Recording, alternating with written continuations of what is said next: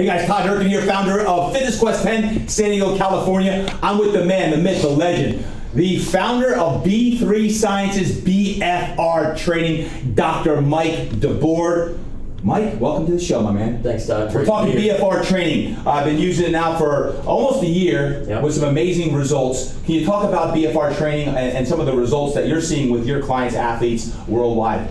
Well, the training is putting these awesome bands on, which safely slows down blood flow so you can get a better workout. Basically, what's happening is you got less oxygen to work with, so you're going to fatigue deeper. But what kind of results are we seeing? Well, here's what the studies show, and here's what people are saying. They're building muscle faster. They're getting stronger than they were before. People who lift weights, like power lifters or people who are just into strength, they're seeing their strength best records go up. How's that possible? Because when you've got the bands on, you hit a deeper fatigue. Even though it's lesser weight, you hit a deeper fatigue. We've got speed athletes that are running faster, track athletes running faster, endurance athletes, that's a huge one. We got Ironman, Sparta, senior games, mountain bikers, uh, cross country skiers all beating their personal best. Why? Because they can fatigue deeper in their training with the bands. And then talk about changes, weight loss. Huge changes in weight loss because the bands allow you to get that wonderful deep fatigue that turns on metabolism. Then there's a whole health benefit side.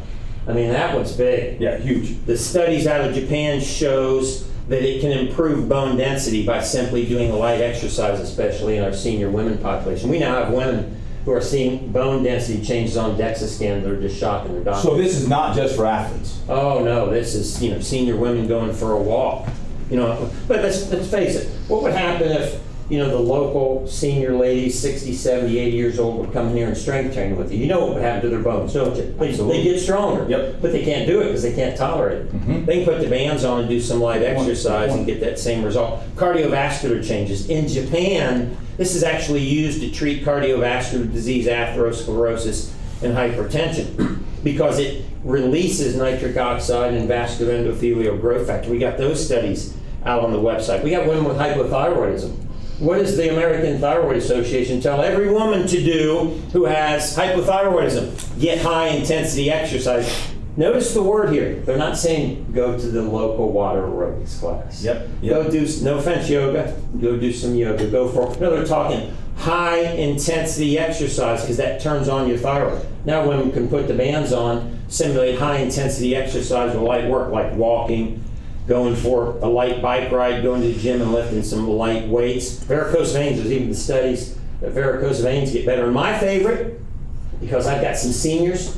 When you do high intensity exercise, which seniors can't do, you increase cerebral blood flow and you release brain derived neurotrophic factor. We've got Now a whole talking. bunch Now we're talking. of seniors whose cognition is getting better, their tremors are being reduced. We're not curing disease here, but man, you are turning on the body to function better. And all this is based on science out of Japan. So not only are we losing weight, toning up, feeling better, getting you know the arm farm, getting all pumped up, man, we're moving the needle on things like cardiovascular health, bone density, growth hormones, skin, feeling younger, brain function, varicose veins, thyroidism, and immune system. And That's not even get started on that, but we all know people who do high intensity exercise or the bands are going to have stronger immune systems. So let me ask you a question. Uh, I'm, I'm ready to go for my third workout today after listening to you. I'm all fired up. One of the common questions I get is, well, which bands do I get? Is it one size fits all? So how do you know when you go to B3 Sciences which band to actually get? There's what, four different sizes? How do you know which one to Four different get? sizes. Just click on that little size chart icon. It says size chart. Okay. And you'll measure your arms right here and right here, and you'll either get a ones or twos for the arms.